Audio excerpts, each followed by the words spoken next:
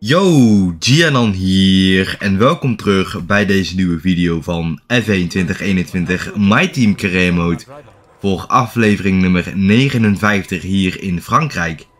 Heb je de vorige video gemist, zou ik die eerst even terugkijken voordat je deze dus gaat zien. Het kan rechtboven het i'tje, klik erop en dan ziet die aflevering verschijnen natuurlijk. Ben jij nieuw op mijn kanaal? Abonneer voor meer wekelijkse F1 2021 My Team Career content. Schakel ook gelijk dat belletje aan, zodat jij altijd op de hoogte bent wanneer ik een nieuwe video upload. Volg me ook even op de sociale media. Mijn gebruikersnaam in de beschrijving. Frankrijk belooft een mooi, ja wat is het, een mooie wedstrijd, een mooie aflevering te gaan worden. Het is niet mijn favoriete baan. Ik heb er ook meestal moeite mee met onderstuur. Dus ja, dat gaat wat worden. Ik verwacht ook veel van Max Verstappen. De vorige wedstrijd voor het team liep niet goed. Max finishte niet in de punten. Wij pakten wel weer een overwinning in Canada. Mercedes nog steeds de snelste en de beste bij de research en development boom. Wij moeten nog steeds in de achtervolging, maar we hebben niks meer om te upgraden alles is al ja, helemaal voltooid. Dus we kunnen niks meer. Dus nu is het alleen wachten misschien op een regulatieverandering voor seizoen 5. Maar eerst Frankrijk en al die andere wedstrijden gewoon nog doen. We werden weer eerste. Max helaas 14e in die wedstrijd. Jammer. 31 overwinningen in totaal. Nog 11. En dan passeren wij Ayrton Senna maar eerst Q1. Het is lekker droog hier in Frankrijk. Belooft wat moois te gaan worden. Er is ook geen regen voorspeld in de race en de kwalificatie, dus dat is goed om te zien. DRS geopend. En onze tijd gaat gewoon beginnen te lopen. Kijken wat dit rondje ons gaat opbrengen in Q1. Ik verwacht hier gewoon door te gaan naar Q2. Laatste bocht. En dan is het op naar start-finish en de DRS-zone. Bottas met een 1.27.3 naar de snelste tijd. En wij met een 1.28.0 op een tiende van Perez. Dus we gaan er nog een keer voor. Die snelste tijd, hoop ik krijgen een corner cutting waarschuwing vanwege het afsnijden van de bocht. En hebben daar Marcus Armstrong voor ons. Zet daar paars in sector 1 neer. Zijn sneller in sector 2, maar niet de snelste van allemaal. Dan komen we weer bij de laatste bocht aan. Leclerc naar de snelste tijd met een 1.27.5. Wij moeten daar wat actie ondernemen omdat de auto niet meer wil. En we zetten wel de snelste tijd in met een 1.27.1. Zijn 18e sneller. Dat is goed om te zien. We zijn aanbeland bij Q2. We stappen nog naar binnen. En we gaan het gewoon proberen om op deze set banden door te kunnen komen naar Q3. We gaan gewoon voor een 1 run. En kijken of dat goed genoeg is om door te kunnen komen naar Q3. Pakken daar helaas een track limits. En een klein momentje overstuur op de exit. Hier weer iets te wijd. En nemen dat DRS-bord helaas mee.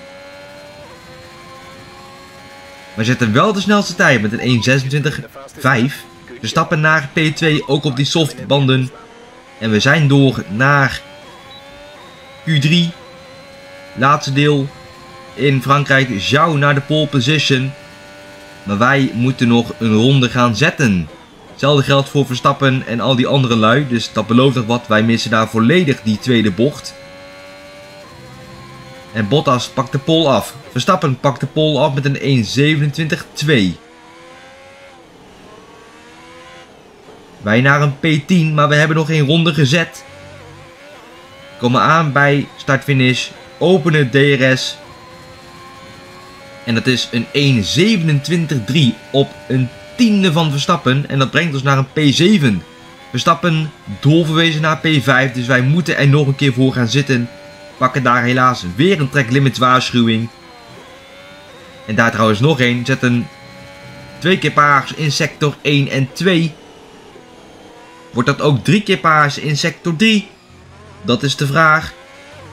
Van P7 naar P3 op 30.000 van Carlos Sainz. Dus het is nog niet genoeg.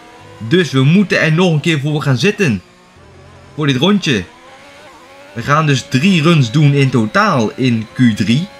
Niet van mij uh, verwacht. Maar goed, ik wil graag die pole position. Dus dan gaan we voor die pole position denk ik.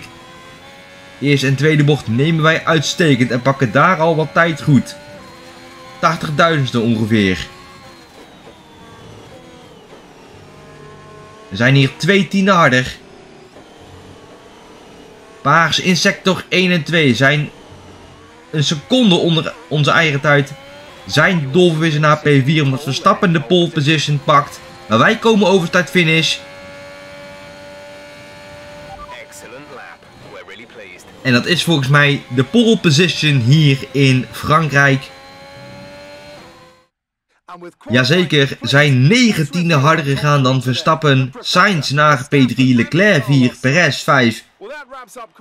Norris 6, Bottas 7, Russell 8, Ricciardo 9 en Zhou op P10. Hamilton dus niet door naar Q3. Dat belooft nog wat voor de grote prijs. Ik zou zeggen, laten we lekker beginnen voor carrière aflevering 59. Hello and welcome to the Circuit Paul Ricard, current home of the French Grand Prix, an event dating all the way back to 1906. It's been held at many venues over the years, with famous moments from Dijon and Manicourt the feature of many a highlights reel. And let's hope we see more of those in the race today. The Circuit Paul Ricard then, a 3.6 mile track, 25 miles east of Marseille. 15 corners here, 6 to the left and 9 to the right, with the main overtaking chance expected going into turn 8. Top speeds today should be around 205 miles per hour. And I'm joined once again by Anthony Davidson to bring you the lowdown for today's race. Let's talk about the Professor. What do you make of their performance so far this season? They've been avoiding mistakes and have had solid pace, so it's been a good season so far, but whether they can keep that up long term remains to be seen.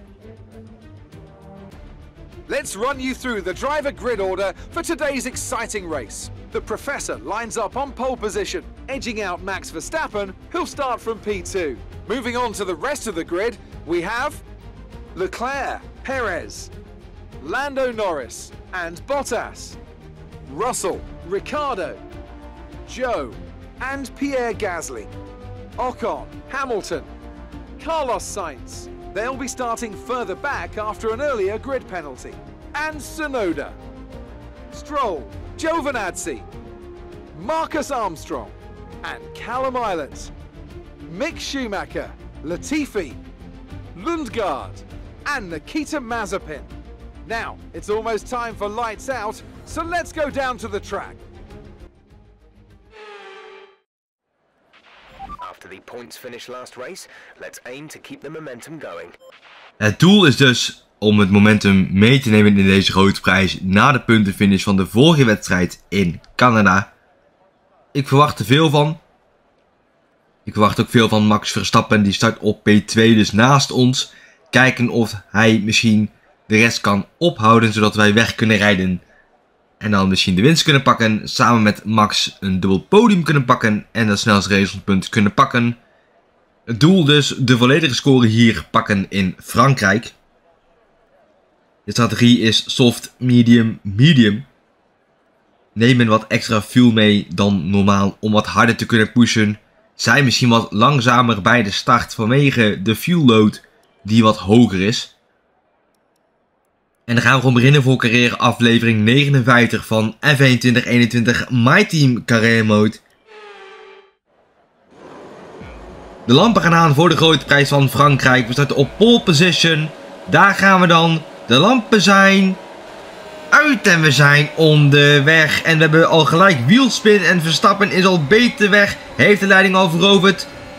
Leclerc keek aan die binnenkant, er was geen ruimte. En Max naar P1. Wij zijn dolwezen naar P2. Pakken al gelijk een waarschuwing vanwege corner cutting. Probeer hij terug te komen bij Max. Maar dat lukt net niet. Hebben hier geen ruimte.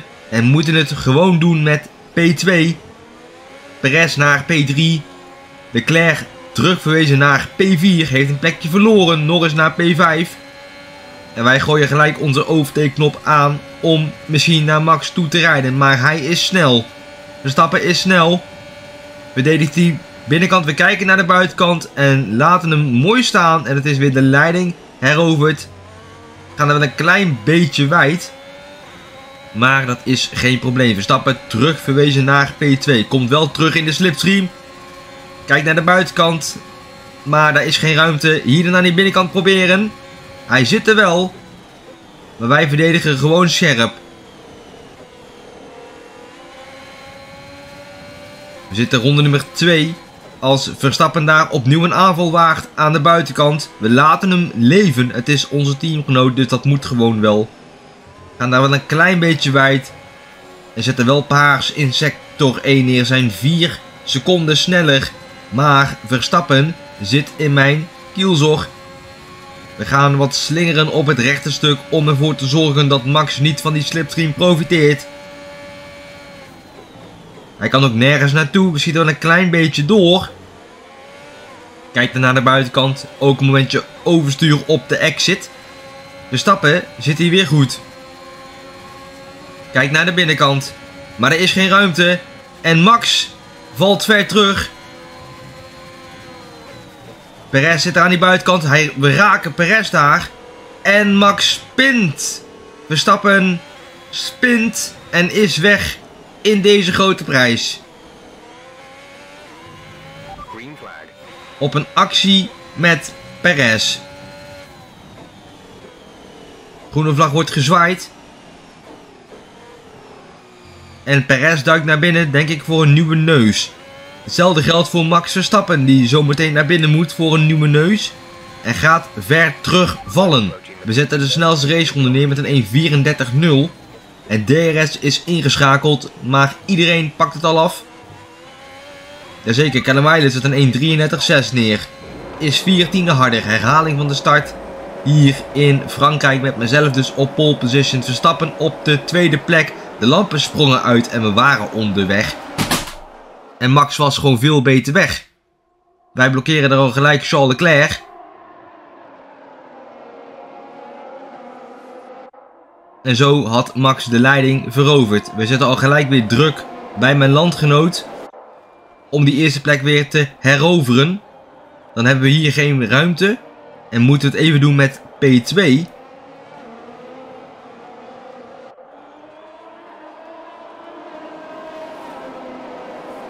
Dan volgt hier een lang rechtstuk. We zitten hier in de slipstream van Max.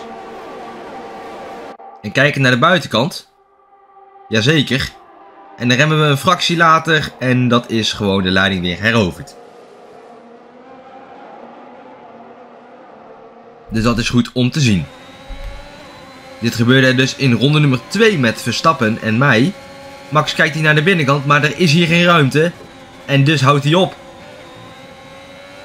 En Max is doorverwezen naar P3. Perez doet daar iets raars. En Max raakt hem. En dat is een spin voor Verstappen. En hij moet dus naar binnen voor een nieuwe neus. Gaat dus ver terugvallen. Moet ik even wachten op verkeer. Dus dat doet extra pijn. Jazeker, en Max kan nu weer het asfalt op. Maar dit gaat wel pijn doen voor de constructeurstitel. We zitten in ronde nummer 3 van de wedstrijd als Charles Leclerc dit keer aanvalt. Aan de buitenkant. Over die curbstone. Maar Perez, sorry, maar Leclerc zit daar nog wel. Perez is gewoon heel ver teruggezakt. Die rijdt op de ene laatste plek. Een nieuwe strategie is beschikbaar met een tweede stopper te doen. Medium, medium. Norris pakt Charles Leclerc, maar Leclerc heeft zich niet gewonnen. Interessante battle voor P2. Russell knap naar P5 voor Alpine. Wij dus nog steeds aan de leiding in de grote prijs in ronde nummer 3. Banden zien er nog goed uit in de race. We gaan er wel een klein beetje wijd. En dat ziet Charles Leclerc. Leclerc kijkt. Maar spint. Leclerc heeft ons geraakt en valt ook ver terug. Een spin van Charles Leclerc. En Lewis Hamilton zet de snelste raceronde neer met een 1.31.9. Wij nog steeds een 1.33.8.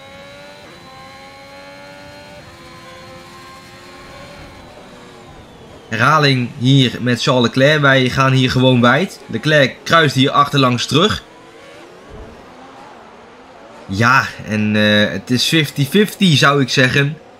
Dus Perez, Leclerc en Max moeten allemaal weer terugkomen in de wedstrijd. En Leclerc valt gewoon helemaal terug. Helemaal terug valt Charles Leclerc. Dat is jammer, maar goed, het is wat het is. Dit is een wedstrijd die tot nu toe knotsgek is. En Lando Norris en George Russell duiken naar binnen voor hun eerste pitstop. Die gaan voor de undercut. En wij noteren de snelste raceronde met een 1.31.1. Zijn drie tienden harder gegaan. En de pitwindow is open om naar de mediumband te duiken.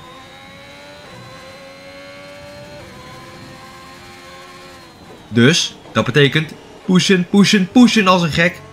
Om ervoor te zorgen dat wij voor de jongens weer eindigen als we de pitstraat zijn uitgereden. En noteren groen in sector 1 zijn 40.000ste sneller. Mooi, we zijn dus sneller. Ricciardo op P2, Bottas op P3, Zhou op P4. En ronde nummer 7, een ronde later, duik ik naar binnen voor mijn eerste pitstop van de dag. Gasly en Hamilton op de mediumband, die gaan nog een keer naar binnen volgens mij. Want die zijn gestart op mediums, denk ik. Bottas op P2 duikt ook mee naar binnen. Sainz duikt mee naar binnen.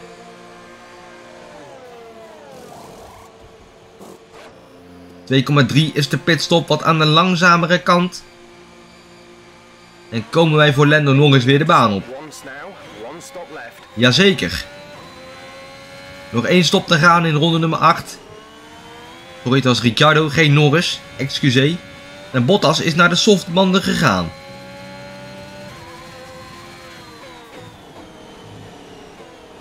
En wij gaan nu de druk opvoeren naar Marcus Armstrong. Dat gat is 8,7 seconden.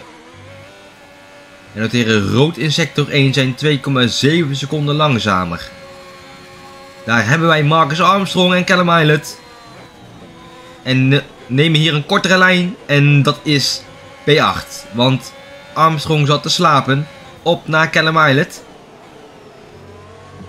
Die kunnen we hier nog niet passeren. Dus dat moet op het rechte stuk gebeuren. Gaan er wel een klein beetje wijd. En Armstrong komt terug. Maar raakt onze sidepod en spint. Armstrong gespint. En moet ook weer van heel ver terugkomen. Islet gaat hier in één keer heel hard verdedigen. Waarom doe je dat?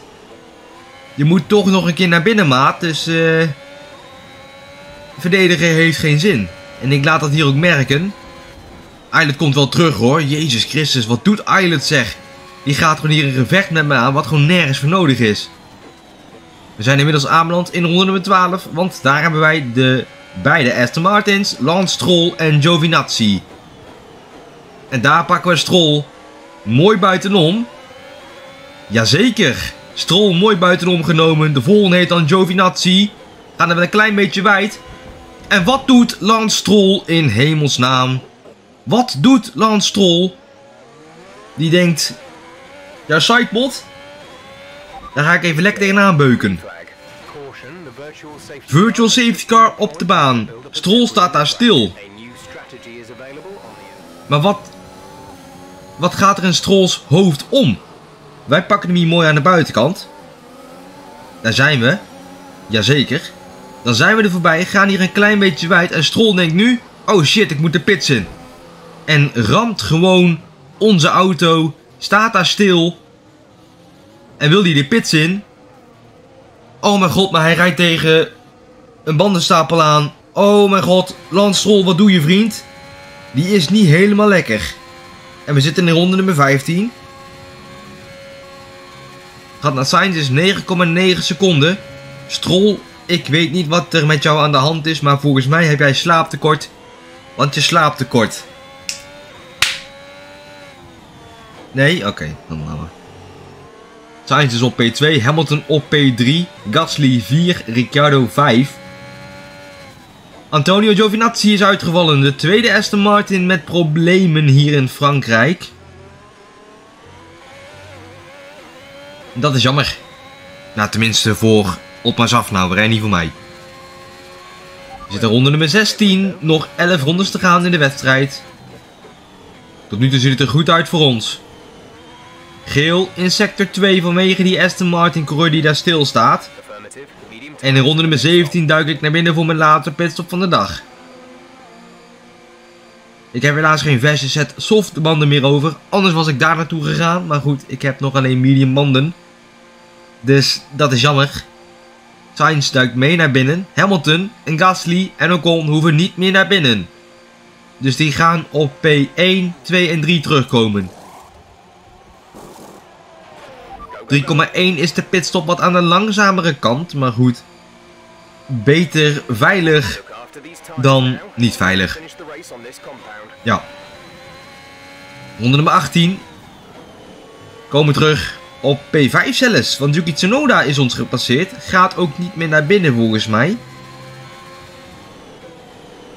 En Yuki Tsunoda hebben we gepasseerd. Ook is hier Gasly dan gezien aan de buitenkant. Lukt dat?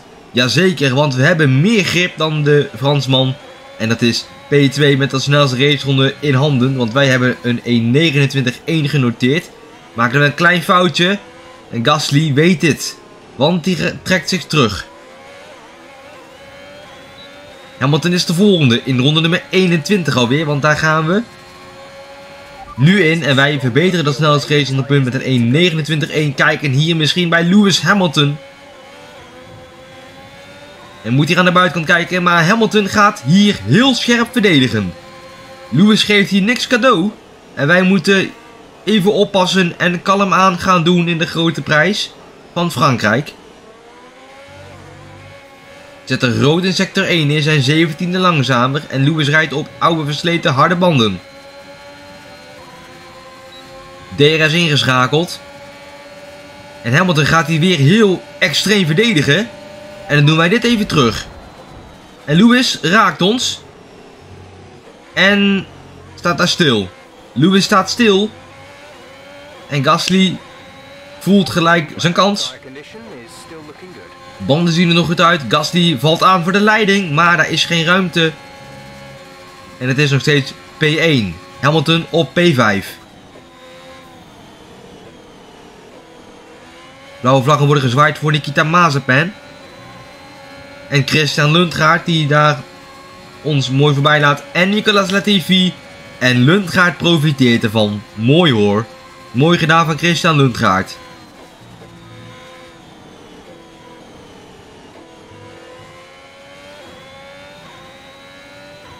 Op naar ronde nummer 24 alweer. Dus het schiet al aardig op. Herhaling dus wat er is gebeurd met Lewis Hamilton. Die gaat hier heel fel verdedigen. Wij kruisen hier terug langs de lijn. En Hamilton. Wat een raar moment. Wat een raar moment met Lewis. En dan besluit hij niet, ik ga rechtdoor. Nee. We gaan weer terug naar de racebaan jongens. En gaan hier nog meer plekken verliezen. Jammer voor Lewis. En wij pakken trouwens een 3 seconden tijdstraf vanwege meerdere waarschuwingen.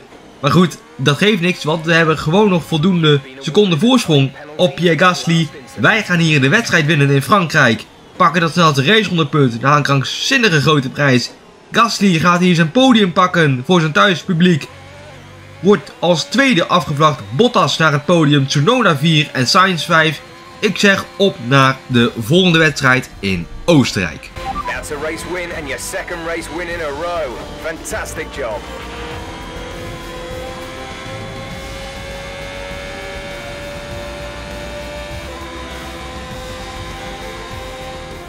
A nearly flawless performance here then, and a commanding victory.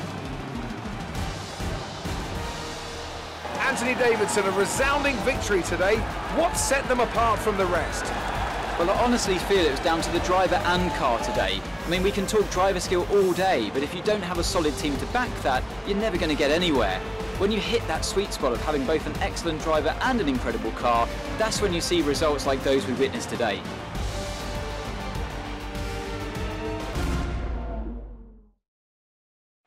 A show-stopping performance from the three drivers approaching the podium right now. It's been an interesting Grand Prix, that's for sure.